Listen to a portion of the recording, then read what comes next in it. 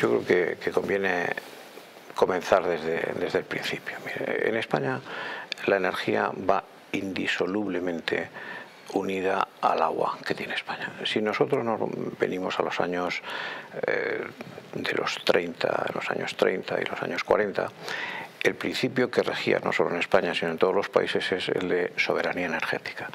¿Cuál era la soberanía energética en España? Pues producir con huya eh, de el carbón español centrales con centrales térmicas y lo que se llamaba entonces la hulla blanca con los saltos hidráulicos que se hicieron. Entonces no había ninguna necesidad de acumular energía, eran dos sistemas que se adaptaban totalmente el consumo, la producción con el consumo. Más adelante, cuando a partir de los años 60 eh, había ya un desarrollo tanto en Europa como en España, iba a haber un consumo importante de energía, empezaron a surgir dos posibles eh, formas de producir energía, una con el gas, eh, me refiero a energía eléctrica básicamente, una con el gas y la otra con, centrales nucleares. Las, las centrales nucleares pronto sufrieron un ataque importante por de donde viniera, vamos a referirnos solo a su su esquemita de nuclear no gracias, ¿eh? que consiguieron movilizar a la opinión pública eh, en contra de estas centrales que producían una energía eh, barata, pero que también tenía, ya no tenía el sistema de que se adaptaba totalmente a la producción, porque una central nuclear no se puede parar, o sea, solo se puede parar de una forma programada y por lo tanto por las noches estaba, se estaba produciendo más energía de la que se consumía.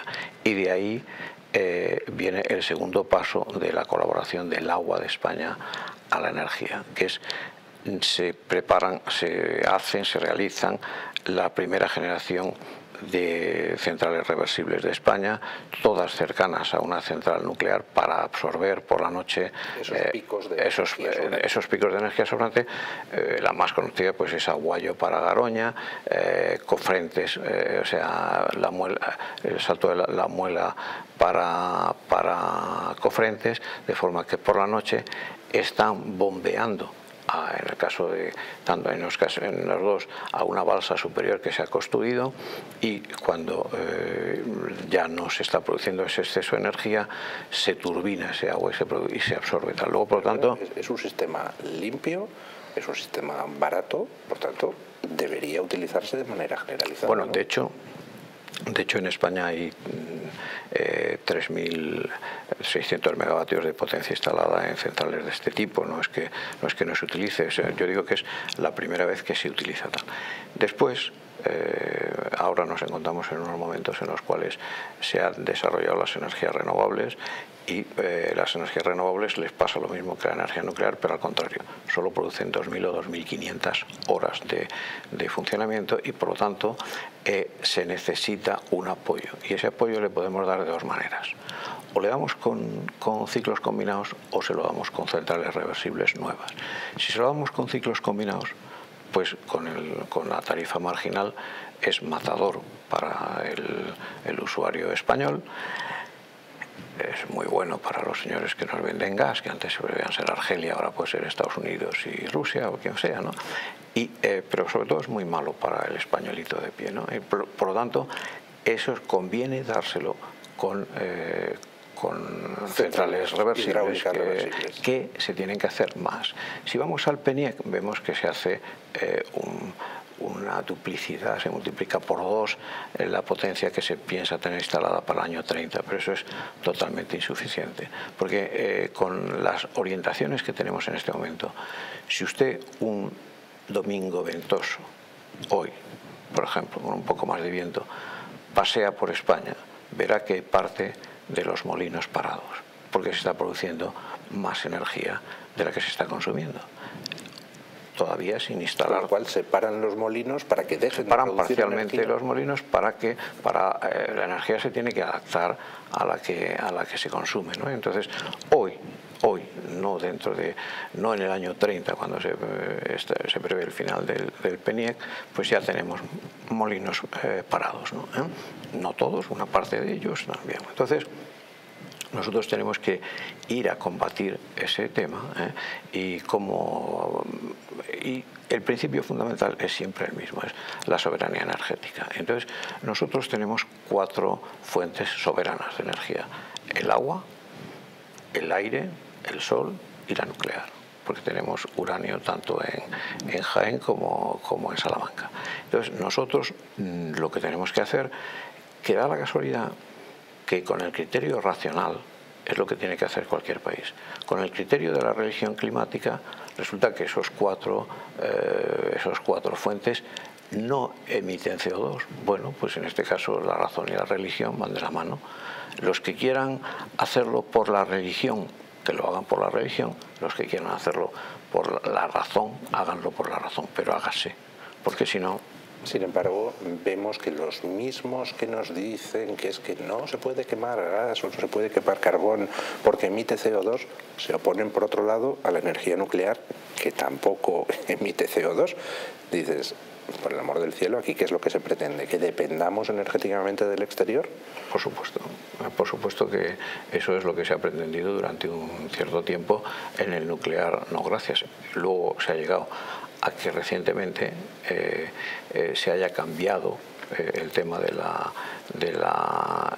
ha pasado a ser energía limpia, por así decir, la nuclear, porque eh, no emite CO2. ¿no? entonces, por lo tanto, eso, y además al mismo tiempo se estaba eh, fomentando la, la, la, producción de gas que, que emite la mitad que el, que una central de carbón, pero emite, o sea, emite de orden de 400 gramos, eh, cuando una central nuclear con todo su preparación, con todos sus, eh, desde la construcción y tal, emite como 12 gramos, o sea, eh, prácticamente nada. Entonces, es evidente que lo que un país debe de tener son los, los, principios que vienen bien a ese país, que son la soberanía energética y que en ese caso, en el caso de España, lo primero que hay que hacer es derogar la ley de mayo del 2021 de la ley del cambio climático y transición energética que impide que impide que se eh, exploren y que se exploten eh, yacimientos españoles de gas por, por fracking o de petróleo. O de uranio. o de uranio. Pero es que eh, España en Subijana, en, en, Álava, pues por fracking se podían, existen unas reservas de 1.300 BCM. Eh, España consume unos 36 BCM, pues ya se ve que podríamos tener gas. ¿eh?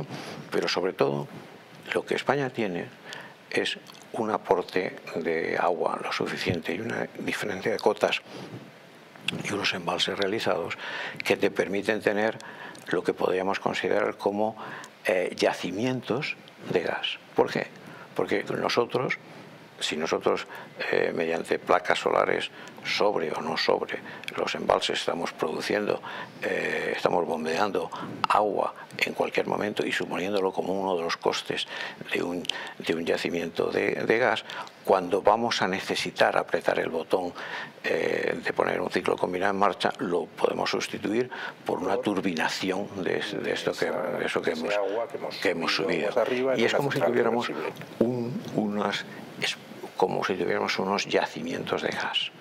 Eso no lo tiene ningún país de Europa y nosotros sí lo tenemos. Lo tenemos que explotar. ¿Por qué? Porque nosotros, si explotáramos eso, mejoraríamos nuestra balanza de pagos de una manera sustancial y al mismo tiempo eh, eso nos permitiría mejorar las cuentas de España, eliminar, eh, eliminar deuda e ir a, a tener unas piezas, a tener unas cuentas estatales racionales. Pero al mismo tiempo que eso, eh, el tema de las, de las de, tener hechos 56.000 hectómetros cúbicos de embalse, y que tener en cuenta que al finalizar la República se tenían 4.000, desde, desde los fenicios hasta la República 4.000. Y en 1975 y sus colas de los que estaban haciéndose, que terminaron de hacerse en 82, 83, teníamos 56.000. Entonces, esos 56.000 hectómetros, que en la cola del Tajo y en la cola del Duero lamen uno detrás de otro. Eso nos permite poder crear centrales eh, reversibles perfectamente. Eso sí, mmm, además les vendería muy bien a las eh, empresas hidroeléctricas porque sus concesiones eléctricas, pues a lo mejor le faltan 20 años por vencer y tal, y podrían renovar eh, esas, esas concesiones, pero sobre todo el español, España se liberaría de la factura exterior del gas. Por supuesto, también tiene que derogarse la ley de mayo del 2021 para poder explotar el gas porque a nosotros como lo que nos interesa es la soberanía energética. Si el gas es nuestro, claro que el gas es buenísimo. Si eres ruso, el gas es buenísimo. Si eres estadounidense, el gas es buenísimo. Eh, si eres español y no te permiten eh, explotar tu gas, el gas es malo si te lo permiten, ¿no? Y porque además en el mundo energético mmm, estamos acostumbrados a, considerar solo la electricidad. El mundo energético tiene tres bloques, la electricidad, la movilidad y el calor para los productos industriales. Si encima queremos eh, aumentar la, la, parte eléctrica eh, eh, tomando parte de la movilidad eh, con coches eléctricos, etcétera, ¿no? pues es evidente que tenemos que potenciar mucho nuestro parque, pero nuestro parque tiene que ser con una potencia nuestra y nosotros tenemos la suerte, la suerte de que tenemos agua, viento, agua con sus diferencias de cotas, viento, sol y uranio para poder tener centrales nucleares, para poder tener una, una, economía, eh, una energía muy barata y necesitamos hacer tres cosas. Primero, como con Euro, en Europa, con la ayuda de otros o solos, tal. Primero, eliminar los derechos de emisión de CO2. Segundo, acabar con la tarifa, eh, mm, los precios marginales. ¿no? Tercero, eso ya España, eliminar, derogar la ley del 20 de mayo del 2021 que solo un grupo votó en contra, que solo un grupo votó en contra. ¿eh? Vox, pero bueno, o sea, no, yo no quiero que decir Vox porque luego van a decir este, esta, ¿no? Pero solo un grupo votó en contra. Y con esas tres cosas coyunturales ¿eh? habremos mejorado de una forma real, muy potente, la vida de los españoles, como ahora yo le voy a decir. ¿no? Pero eso es una acción fulminante. Para eso luego, para luego tenemos que hacer un plan de dos o tres eh, legislaturas en el cual se tiene que pasar a que eso sea realmente estable. Y en esa cosa estable tenemos que hacer primero revertir el cierre de las centrales nucleares que está previsto para el año 35, la central de los grupos que hay actualmente, eh, el cierre de los grupos que hay actualmente en marcha. Segundo, en ese sitio donde la gente ya sabe y quiere la energía nuclear, adicionar un grupo más de 1000 megas cada uno, es decir, tener 5000 megas de potencia más del grupo nuclear. Eh, nuclear. una cosa, don Luis, porque nos estamos quedando sin tiempo, desafortunadamente, corre el tiempo a una velocidad tremenda en la televisión. Le emplazo otro día para hablar de, primero, planes a futuro y segundo, ¿qué podemos hacer con el agua en España? Porque también nos da para otra discusión enormemente larga. Perfecto, pero yo solamente del agua en España le voy a decir una cosa. Dos cositas. España pasa a Portugal por encima del Tratado eh, Internacional de la Albufeira que rige lo que tiene que pasar, la misma cantidad que emplea en todos los regadíos de España. O sea, un momento, un momento. Estamos obligados a pasar a Portugal una cierta cantidad de agua. Bueno, pues le estamos pasando a Portugal por encima de eso que estamos obligados tanta agua como empleamos en todos los regadíos en España. Pues está estupendo. Pues le emplazo a un programa siguiente para poder hablar del tema. Con una segunda parte, que al mismo tiempo en el Mediterráneo estamos tirando lo mismo que estamos pasando además a Portugal. Lo quiere decir que estamos tirando, o pasando a Portugal, o vertiendo al, al Mediterráneo, el doble del agua que empleamos en todos los regadíos de España. Y eso supondría la soberanía alimentaria de España y una mejora de 30.000 millones de euros en la balanza de pagos.